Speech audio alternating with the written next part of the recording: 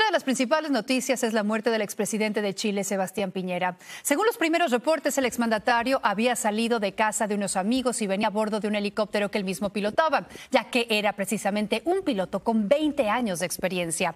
A bordo también venían tres personas más. Tras haber despegado, el helicóptero se precipitó cayendo en la región de los ríos de la localidad Lago Ranco. Piñera murió al no poder quitarse el cinturón de seguridad. Otras dos personas también perdieron la vida, pero tres más lograron nadar a la orilla.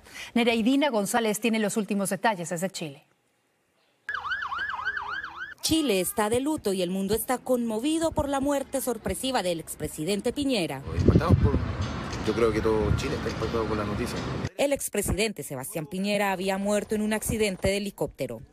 El presidente Gabriel Boric se desplazó hacia la Casa de Gobierno en Santiago junto a la ministra del Interior, Carolina Toa, quienes entregaron las condolencias. Un fuerte abrazo para su familia y sus seres queridos en estos difíciles momentos. El presidente Boric ha instruido que se realice como corresponde un funeral de Estado, que se declare duelo nacional y ciertamente hemos buscado en estos primeros minutos hacer llegar directamente a su familia nuestro, nuestra solidaridad y nuestro apoyo. Autoridades, familiares y amigos comenzaron a llegar a la casa del exmandatario para expresar sus condolencias y dejar flores. Hay conmoción en el mundo político. Chile perdió a un gran líder.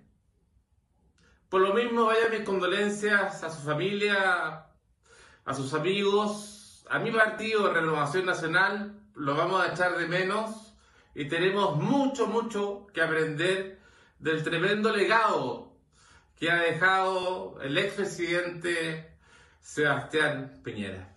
Los chilenos en la calle también manifestaron su sorpresa por lo sucedido. La Fiscalía ya abrió una investigación por los hechos y dio instrucciones a la Brigada de Homicidios de la Policía de Investigaciones de Chile para esclarecer lo sucedido.